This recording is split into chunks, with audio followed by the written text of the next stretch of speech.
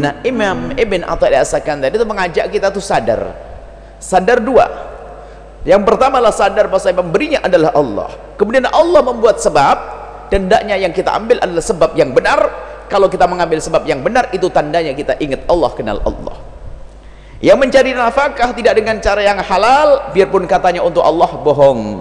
Sebaik apa pun tujuan jika cara untuk mencapai tujuan tidak benar tidak akan sampai kepada tujuan